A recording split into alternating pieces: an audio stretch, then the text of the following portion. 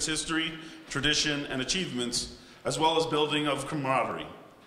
As a symbol of continuity, I will ask the president of the mess to open our punch bowl with a bottle of grog, painstakingly extracted from the punch bowl at last year's event.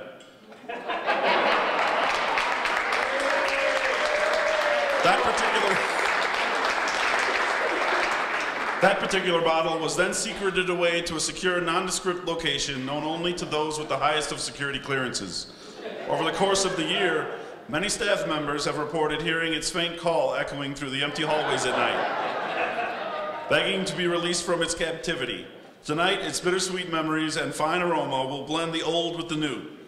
Mr. President, will you please add our first ingredient? I'd be delighted, JD.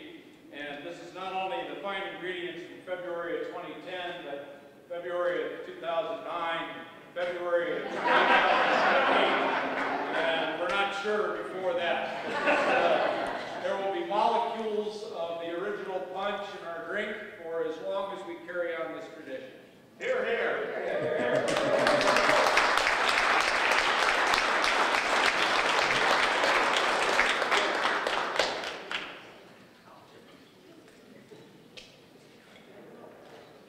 There's a very fine residue here.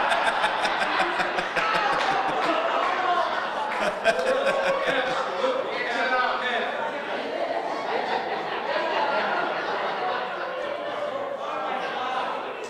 Bring the bottle.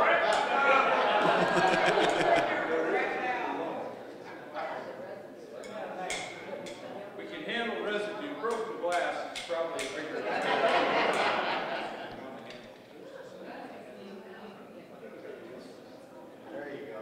You're cheating.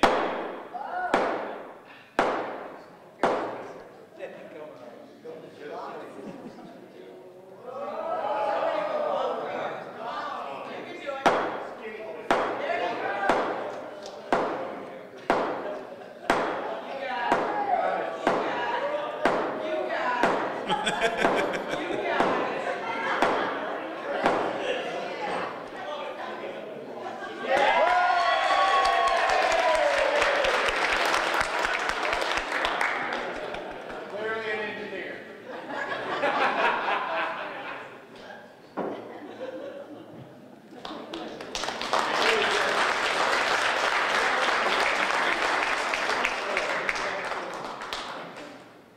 On March 1st, 1776, 19-year-old Captain Alexander Hamilton began the organization of the new provincial artillery Com- of the New York Provincial Artillery Company.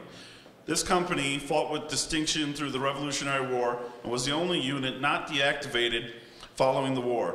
For over 230 years of unbroken service, Hamilton's own, now Battery Delta, 1st Battalion, 5th Field Artillery, 1st Infantry Division, has faithfully served the, the country and is distinguished as our Army's oldest unit. This unit boasts campaign streamers from every major conflict in American history except the Korean War. It has fought around the world from Vietnam and the Philippines to Europe, North Africa, and Southwest Asia. Always first, 1st Battalion, 5th Field Artillery has been an integral part of the 1st Infantry Division since 1917. In memory of the bitter cold winters endured by our soldiers during the American Revolution, we had a block of dry ice.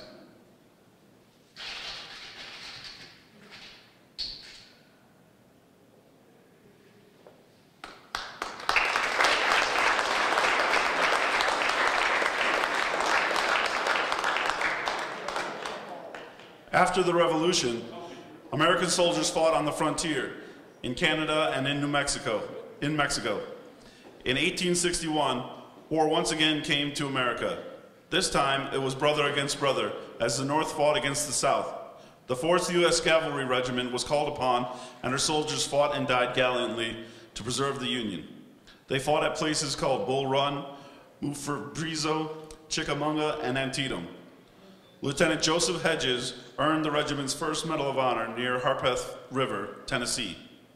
The 1st Squadron, 4th Cavalry, has been part of the 1st Division since 1964 and earned distinction in Vietnam and Desert Shield, Desert Storm, and continues that proud tradition today. To honor the soldiers of the blue and the gray, we add three ingredients. First, to represent the North, we will add the coffee grounds that kept them kept the cold and hunger at bay.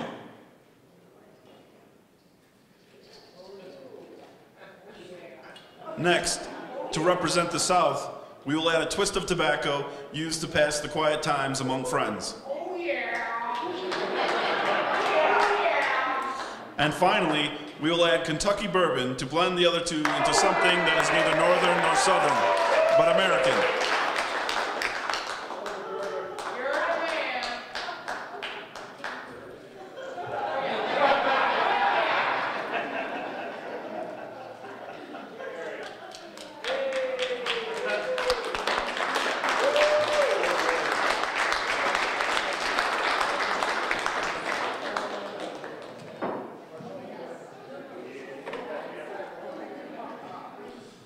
With the nation reunited, soldiers returned to the frontier and in 1898 fought in Cuba, Puerto Rico, and the Philippines to defend, defend American interests in the Spanish-American War. In 1916, then Major Robert R. McCormick served as an officer in the 1st Cavalry of the Illinois National Guard. His unit was mobilized to help stop border raids by the Mexican revolutionary Pancho Villa. Six regiments involved in the Mexican punitive expedition later became America's 1st Division when they were summoned to France in May 1917 for World War I. To honor our soldiers from the Indian Wars to the Mexican punitive expedition, we add mezcal with salt and lime. I'm told the makers tried desperately to rescue the worm when he fell into the vat, but he valiantly fought back with all his might it is my opinion that we let him stay there.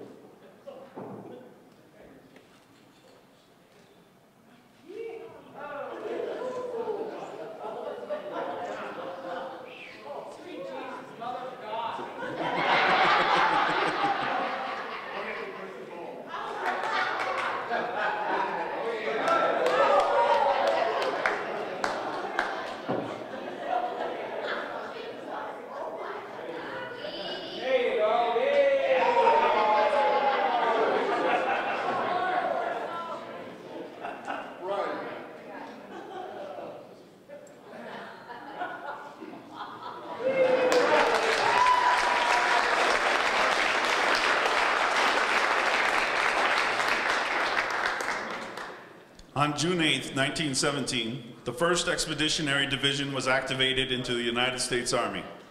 The first American artillery round fired in World War I came from Battery Charlie, 6th Field Artillery, in October 1917. The entire division then proved its mettle in May of 1918 at the Battle of Cantigny. The attack was led by the 28th Infantry Regiment, the Black Lions of Cantigny, so called because of the Black Lion silhouette on the heraldic crest of Cantigny. Our founder, Robert R. McCormick, was there, and he renamed this estate in, honor of that battle. In November 1918, the division artillery was in Beaumont. After withdrawing from the front lines, two young lieutenants decided to visit a nearby town and discovered a cellar full of wine. Chateauneuf de Pape, later to be named the division's wine, the men decided that it would be a shame to let the wine go to waste. So they immediately informed their commander with the armistice signed, the commander decided to download the reserve ammunition and upload the wine. The commanding general was quite upset, but decided what's done is done, and took the wine and distributed it among the officers' messes of the division. For the soldiers that fought gallantly in World War I, and the two lieutenants who secured the division's wine, we had a bottle of French red wine to the bunch.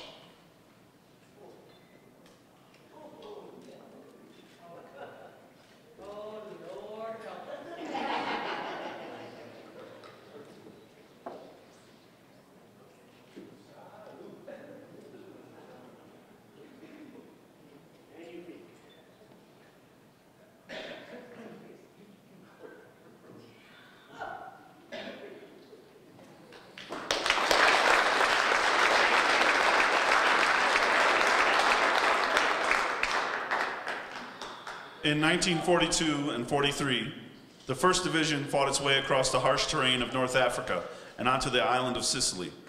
This was the return to combat for the division against an old enemy with a renewed thirst for world domination. Our German and Italian enemies began to feel the agony of defeat at the hands of units like the 26th Infantry Regiment, at places with names such as Oran, El Guettar, Gela, and Troina.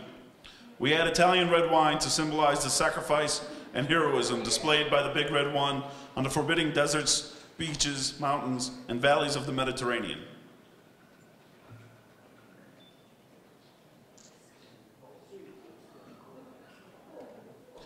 Nineteen forty-four ushered in the beginning of the end for, the Nazi, for Nazi Germany, with the landings at Normandy on D-Day, June 6, 1944, among the division's finest hours.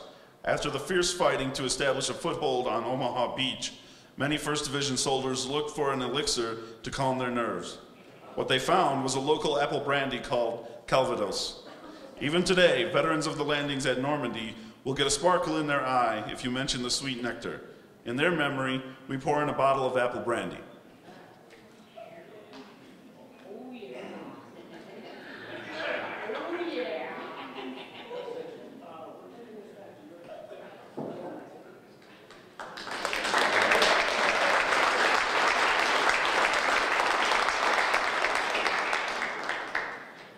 The subsequent, subsequent march into the German homeland was quickened by the use of armored vehicles and motorized infantry, at which the 1st Division excelled. To this lively brew, we contributed a bottle of fine Gewürztraminer wine, captured during the Rhineland campaign of the Second World War. Soldiers of the 1st Division, 745th Tank Battalion, purportedly liberated a case of these bottles from a wine cellar in Mannheim occupied in 1944 by Hitler's niece. The case, now sadly depleted, resides in the climate-controlled haven of the decomposing foundations of an undisclosed building on Fort Riley, Kansas. The wine has a nose full of cloves and honey, reminiscent of the spice of close combat and the sweet taste of victory. It is most certainly a worthy addition to this noble brew.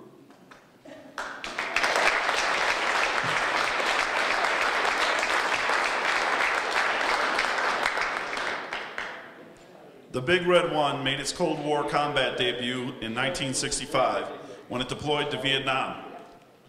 Over the next five years, units like the 16th Infantry fought harrowing firefights against an elusive and determined enemy in such operations as Abilene, Cedar Falls, and Junction City. The division also helped defeat the enemy's devastating attack known as the Tet Offensive in 1968. When the division finally returned home, its soldiers had earned 11 medals of honor and countless other awards for heroism and bravery. Often, the only respite from these long days in the jungles along Highway 13 was a single cold beer at the main fire base. In honor of the blood and sweat spilled into the Vietnamese countryside, we had this bottle of Tiger beer.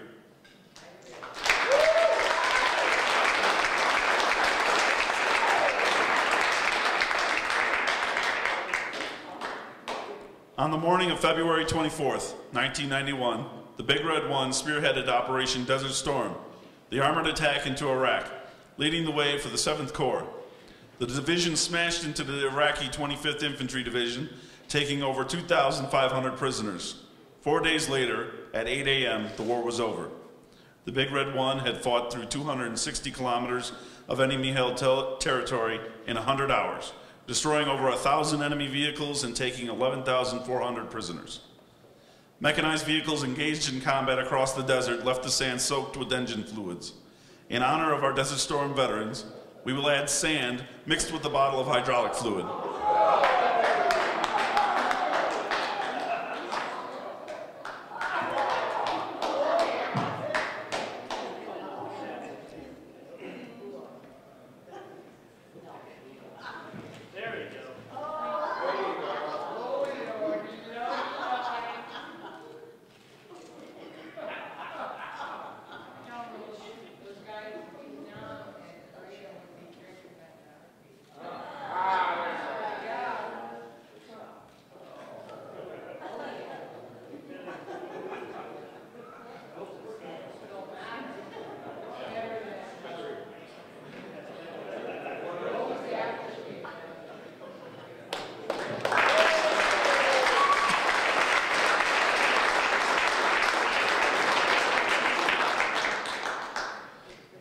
1996 through 2000, the Big Red One performed peacekeeping operations in Bosnia Herzegovina, Macedonia, and Kosovo, supporting United Nations and NATO efforts to bring peace to those troubled former communist states.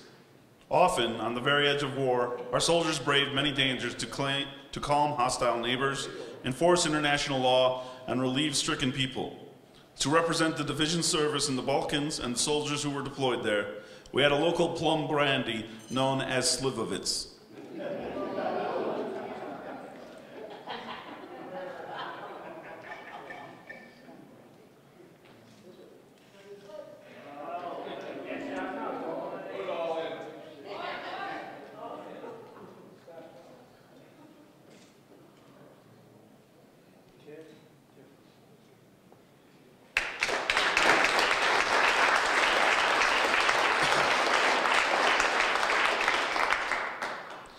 Most recently, in 2003, the division again answered the call to duty, this time in Operation Iraqi Freedom and Operation Enduring Freedom.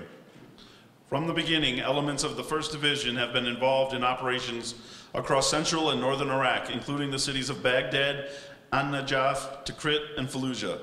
Tonight, the headquarters of the 1st Infantry Division has just returned from its base in Basra, Iraq.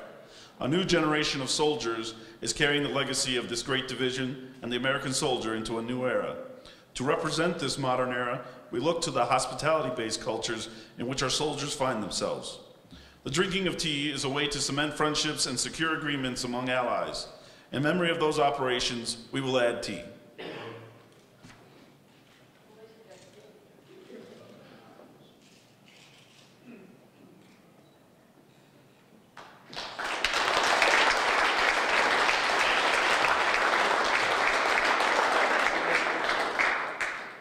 Before we can partake of the punch, we must ensure it is fit for consumption. To test our beverage, I call forward the most expendable member of our museum staff, Bill Brewster.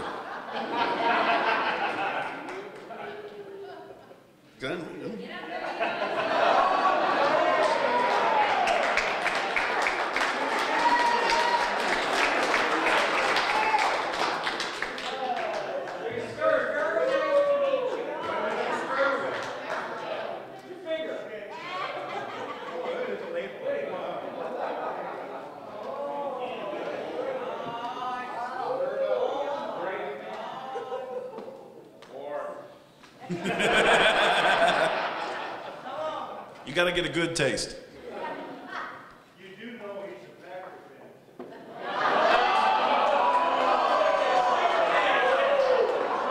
From Wisconsin. I can't help it. Come on, or.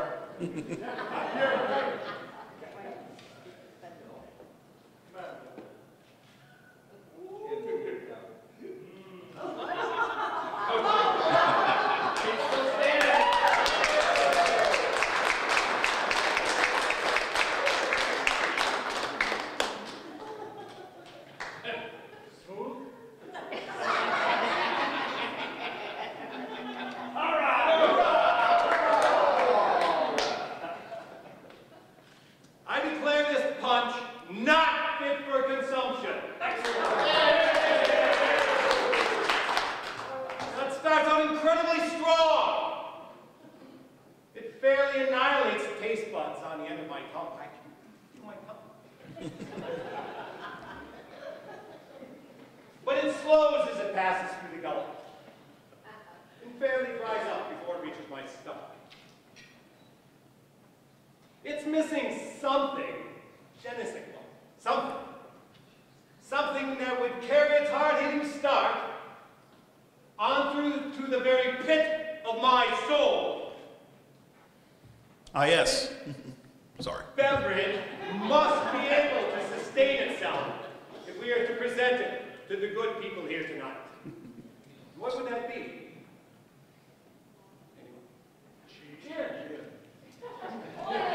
Al?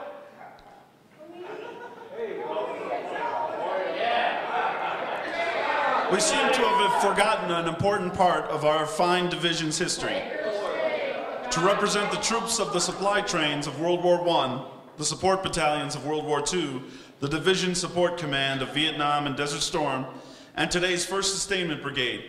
They keep our vehicles running, our weapons firing, and our soldiers at the cutting edge of battle. And for them, we will add a crucial lubricant to maintain and sustain our punch to the very end.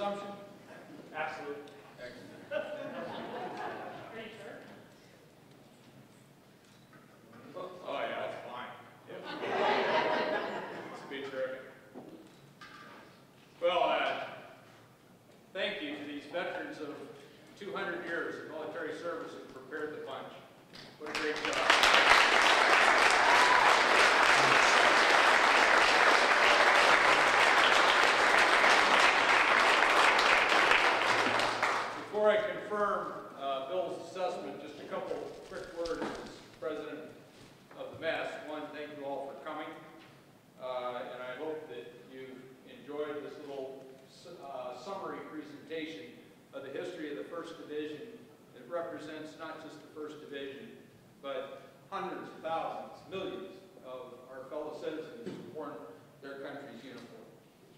Um, let, let me call out some of those, and this is kind of a shot in the dark. We had any veterans of World War II present?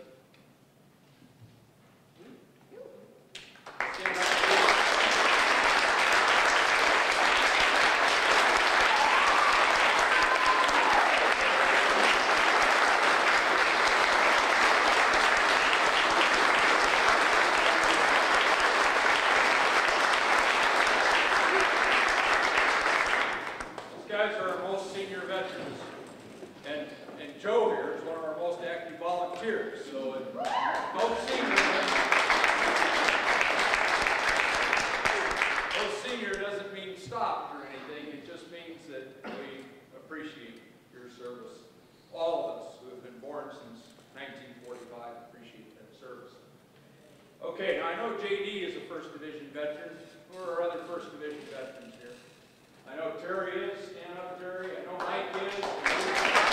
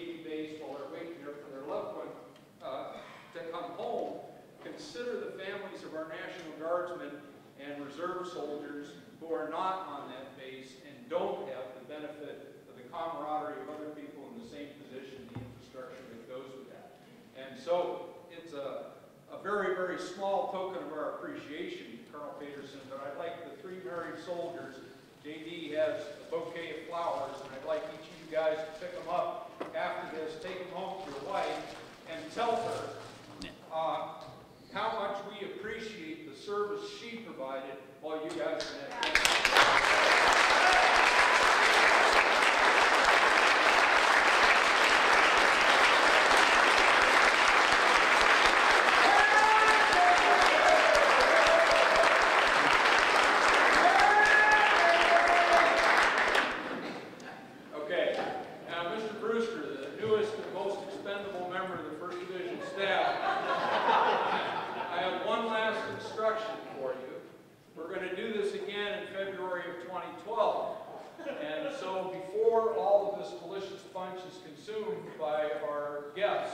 Christ of Exodus,